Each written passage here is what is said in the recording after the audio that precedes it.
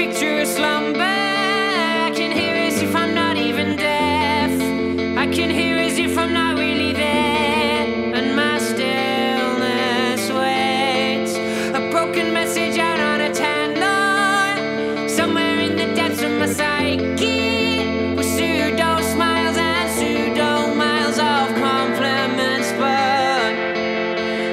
Even the favorite